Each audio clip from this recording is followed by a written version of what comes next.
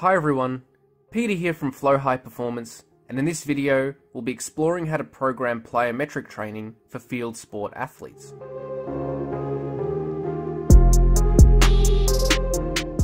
First we need to establish what plyometric training is. Plyometric training refers to exercises which have a high reliance on the stretch shortening cycle for performance. The stretch shortening cycle is the action of the muscles and tendons during movements which involve a rapid eccentric then concentric contraction.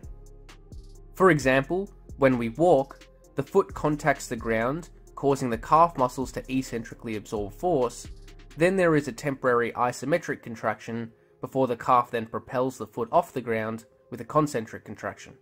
As the muscle contracts, it pulls on the tendon, causing it to spring like an elastic band.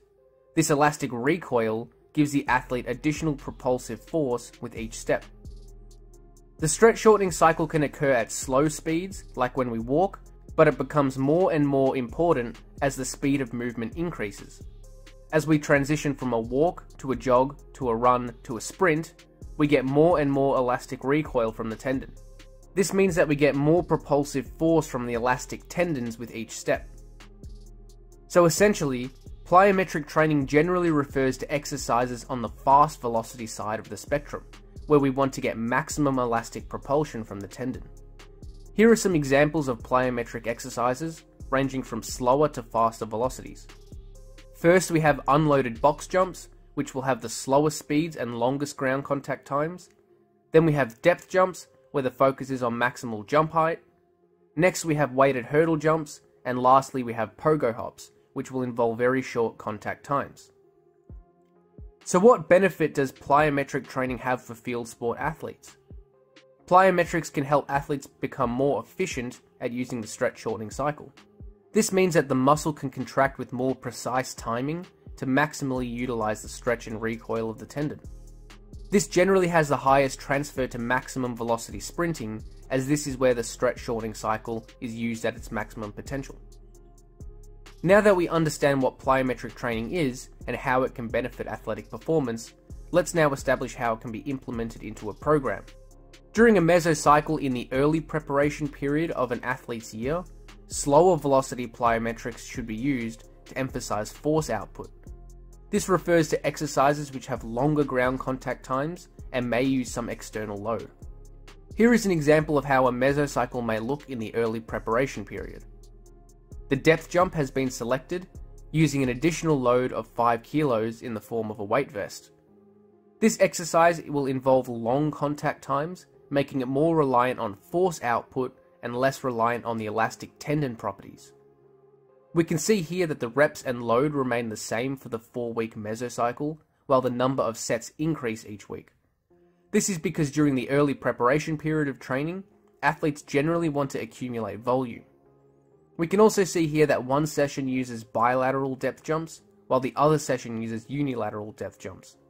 This is one strategy to undulate training throughout the week, and to ensure that we're getting both unilateral and bilateral training. During a mesocycle in the later preparation period of the year, moderate velocity plyometrics should be used to involve more of a reliance on the elastic tendons. The exercises used in this mesocycle should have moderate ground contact times. Here is an example of how a mesocycle may look in the late preparation period. Depth jumps have been used again, this time without any additional load.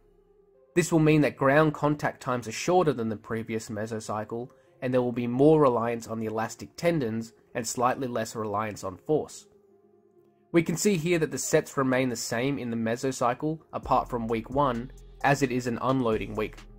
However, the number of reps increases each week as a form of progression. Once again, the first session uses the bilateral form while the second session uses the unilateral form. During a mesocycle at a time when the athlete wants to be in absolute peak condition, Fast velocity plyometrics should be used to train for maximal efficiency of the elastic tendon stretch and recoil.